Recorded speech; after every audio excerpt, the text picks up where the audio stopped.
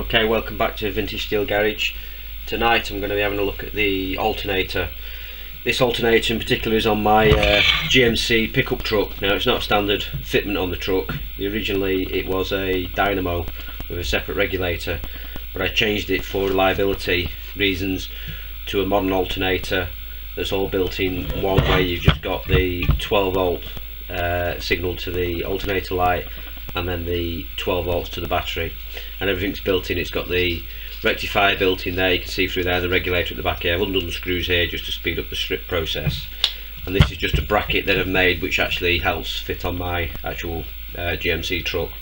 So basically GMC truck I've not ran it since um, last year December.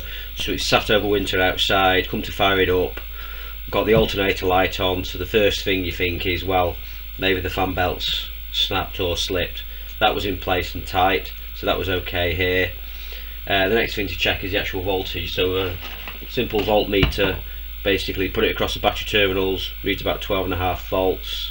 When you start the engine it should go up to about 13 and a half showing the alternator works. It didn't it stayed the same. In fact it dropped off a bit because of the MSD fitted. Is using the, um, the voltage that's available and the other way to check finally is this is the uh, the B plus or the output to your battery. It's quite a hefty lead. Put the voltmeter across here cross the negative of the battery. Again set, start it up.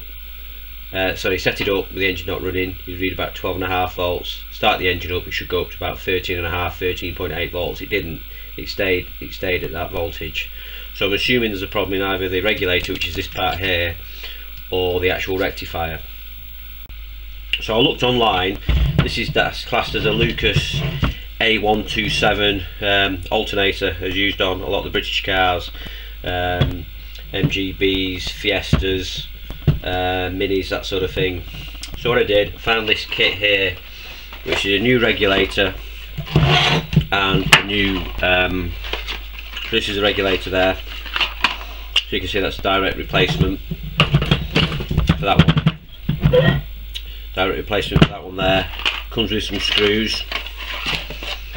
And then I also got a new uh, rectifier set as well so you can see the rectifying diodes in here.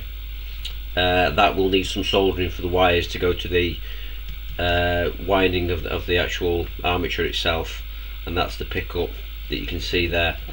So I'll show you how to replace this but first of all uh, just a bit, a bit of a link. I bought this uh, off eBay from a place called uh, Rotating Electric Electrics Limited. They've got a website. I actually found them. They were on actually on Amazon and also on eBay. I bought them through eBay. They're based in uh, mid Ulster and basically I think I ordered the parts on the Friday and they arrived on the Monday. So I can't complain about that. And it cost £16 for these two parts now if they fix the part a new alternator is about £100 so I've saved myself some money. Uh, I'll put a link on for their website here but it's quite good because even though they're called Rotating Electrics Limited they do a lot more than that. So you can see there they do uh, alternators, wiring, reflectors, starters, starter motors, trailer sockets, terminals, switches, tools, connections, relays, insulation tape. So all sort of things uh, battery terminals all sorts of things electrically automotive. So they they seem pretty good and I'm pleased with the response so far. So I'm going to give them a thumbs up and uh, put a link in the in the write-up for them. So to start off stripping the alternator down first thing to do I'm going to take some of these. I want to take the top of the casing off so we can lift it all out. So the first thing I've partially stripped this already is take the regulator out. Now these come with new screws those can be discarded over there. The regulator simply unplugs and is off there and you can see it's got the brushes there for the motor for the actual winding for the commutator. So again I suppose this motor is probably this alternator is probably two uh, maybe two to three years old I can't quite remember. It's not done many miles. Um, so these aren't worn but again I suppose the idea in future is if they are worn you just take that off throw it away and fit a new so I'm going to replace that as a matter of course.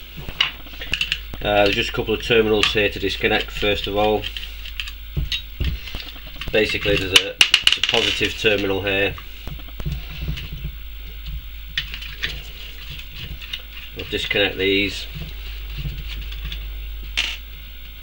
some insulating washers just make a note of how those have come off so you can put them back there's a smaller terminal here an 8mm terminal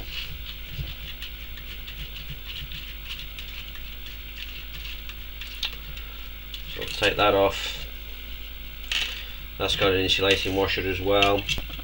And then there's three studs here that are holding the actual back of the case onto the alternator and the whole thing will then come apart.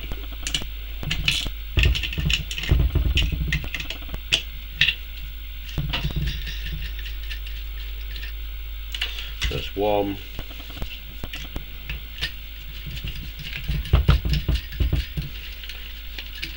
two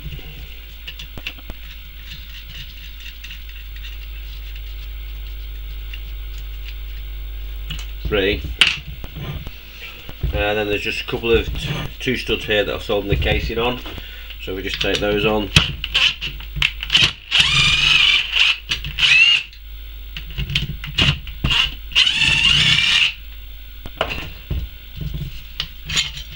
Right, so there's the back of the casing coming off. Probably at this point just worth noting the orientation of where the actual body of it sits in relation to the stud so I'm just going to mark that.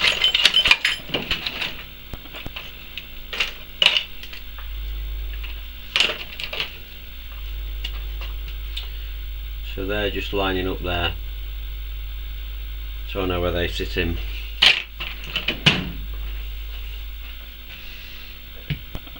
right so this can now come off now Best thing to be careful here is with your workbench that you've not got iron filings everywhere like I normally have. And it's going to stick to the motor and then cause problems in the future. So I'm just going to put this to one side for now. First of all I'm just going to check the windings on here. So a good reading on the windings is about three and a half ohms. So it's worth checking this. I did check this to be honest before I bought the parts but I'll just show you how I do it.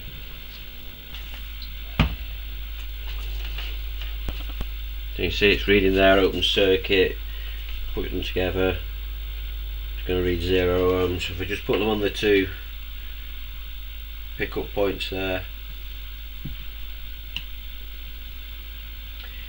it's reading approximately 3 ohms which is what it said, it said 3 to 3.5 ohms. So I'm happy that that's good. So again, that's okay, there's nothing else to strip out on there, there's nothing else to take apart. I'm happy with that, I know how that locates back in uh, with the case. So I'm going to put this over here.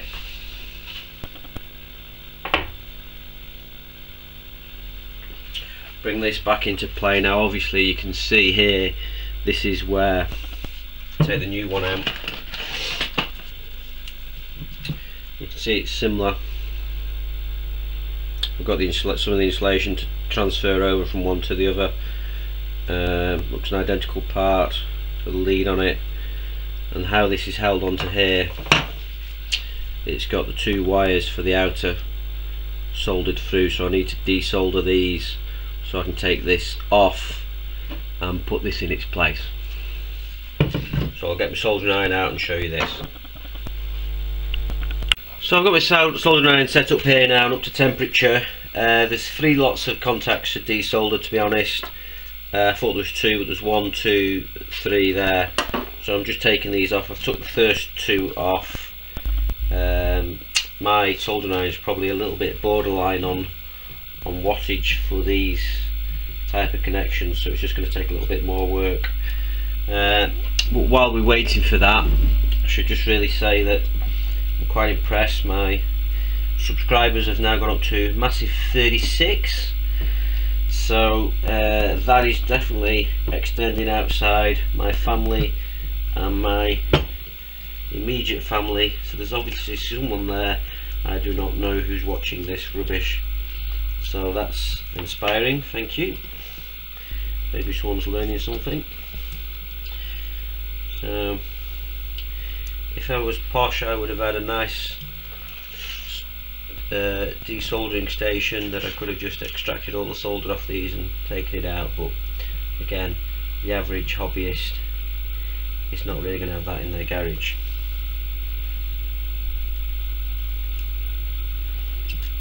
They're more likely going to have a soldering iron which you can buy for about £10 from Maplins or something like that so I've nearly got these desoldered Right, okay, so I've removed the, desoldered the old rectifier there, which is that, and you can see that's a new one. So exactly the same part. That's going to replace that. So it's just the three lugs desolder on there. I've checked the readings on the alternator on the actual rotor itself. So just making, making making sure I've got some continuity in the windings. So if I go between the winding and the body, it's open circuit on them all so that's good and if I go across the windings I've got 0.3 of an ohm there and 0.3 of an ohm there so I'm happy that the windings are okay on that so it's definitely the reason for no output I would say is down to a combination of either the rectifier here or the regulator so replacing both of those which came new so these two came new as I said for 16 pound from uh, Rotating Electrics Limited. I'll put the link in the in the in the um, in the write-up so people can follow it and you can purchase your own from there. So what I'm going to do now, I'm going to put this on here. I'm going to solder this into place. I need to do is feed these terminals through. to pick up on the new one. and I know from previously they would just push through the terminals until they came they were just flush with the top so that's going to be about the right position for it there's going to be a little bit of flex in the cable there and then this just needed to be crimped in like that and then I can solder those into place. So I'll just solder these in and then we know we've got that done and then we can start to rebuild.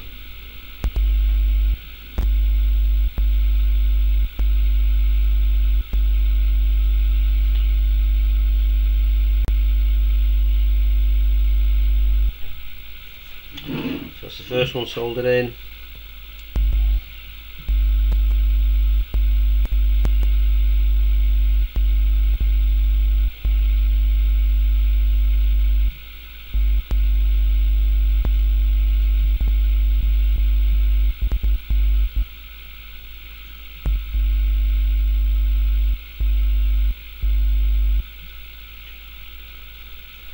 second one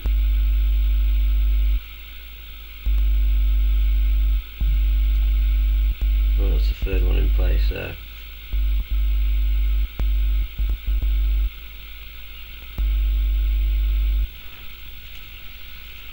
Right, so I'm happy they're all okay there. So let's finish with the soldering.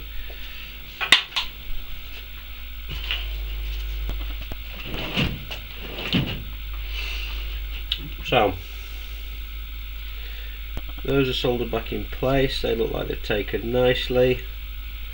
Happy with the solder on there, happy with the solder on there, happy with the solder on there, that's back in place. Just need to transfer across the insulator there and that one. We can now start to put it back onto the body. So bring the body back into play. You remember I put these painted lines on here to line up with the body? So they were lining up like that there. So it's back in place free to move. It's now a case of putting the housing on. Just going to take that screw out of there.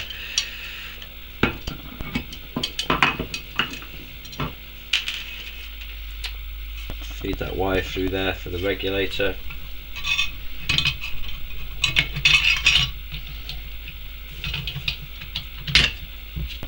the body's back on there Right, so three screws holding the body together.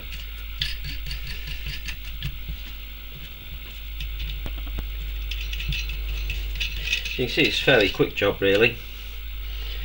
Now I'm not opposed to taking it to a, an alternator shop and having it rebuilt.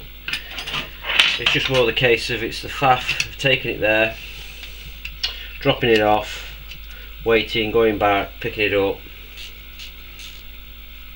Where this is something you can do yourself at home. Very basic tools. I mean, I've had a 10mm span, an 8mm span, a long nose plier, 5mm socket, and a soldering iron, and that, a little bit of knowledge, and that was it.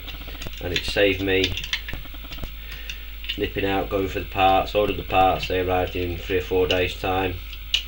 Thought, like I say, I ordered them on the Friday, it's the Monday night now on fitted. So basically within a week I'm back on the road. I can guarantee so this is just an insulator here so these studs don't touch the body. I can guarantee if I'd um, needed to have it taken somewhere I would have dropped it off this Saturday picked it up the following Saturday maybe it would have been ready it might not have been ready would have cost me £100 would have cost me the fuel to get there and get back blah blah blah blah blah. So it's just a lot easier all round to get it done like this. I also get that satisfaction as well that I've probably saved myself £80.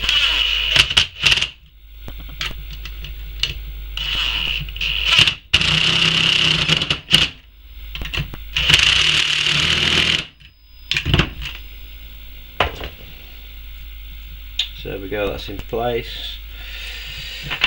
Uh, the 10 mil stud up there. This is a stud, it's basically a repeat of the spade terminals there, and they just don't get used in this application. It's a multi-purpose alternator, so I just don't need those. Nip the 8 mil stud up there.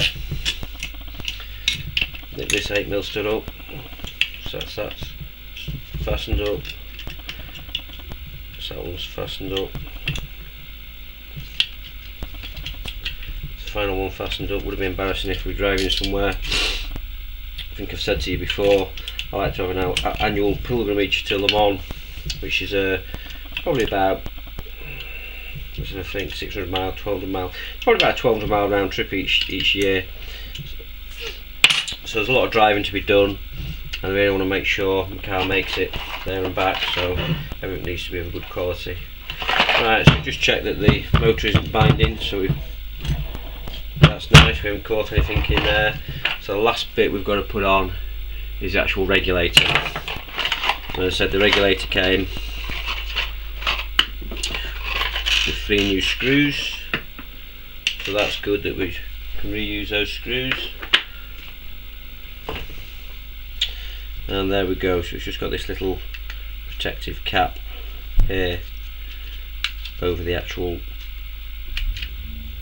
bushes there we go. So there are the contacts they're just going to work you can see on this one they're just slightly worn as the, the radius in where these are actually straight. So they will wear in like that you can see it's identical part. So electrical connection onto here.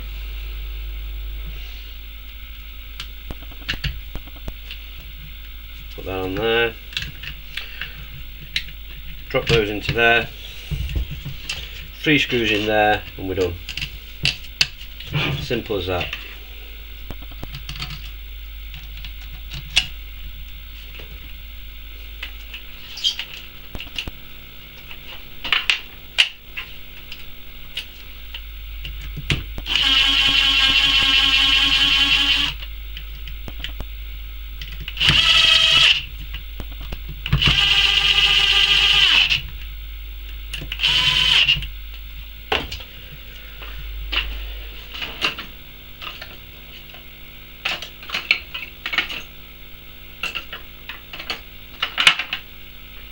must admit I like to just do the final tightening with a screwdriver by hand because then I can just gauge how tight we've got them. So that seems pretty good. So I'm happy with that. Oops. So there we go. One alternator rebuilt, ready to go back on.